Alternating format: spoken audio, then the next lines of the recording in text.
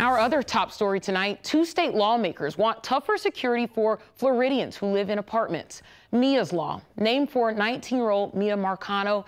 And as our, our uh, reporter Miguel Octavio explains, the bill, if passed, will force landlords to run background checks on all apartment workers.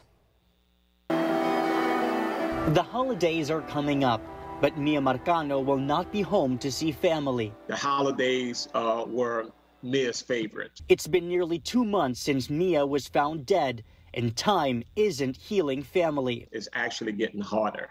Uh, because it's becoming more of a reality that Miya is never coming back home. Marcano family attorney Daryl Washington says Miya's law will ensure what happened to Miya never happens again. Miya's law would require landlords to perform background checks for all employees at apartment complexes.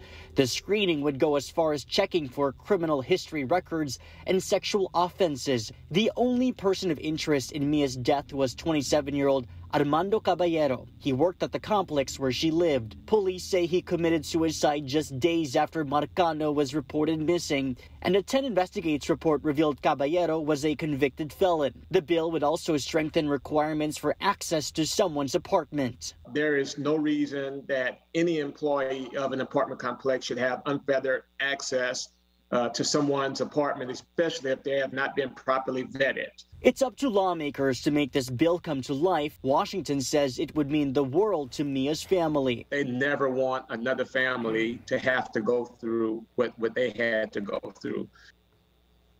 And lawmakers plan to introduce Miya's Law in the regular session in January.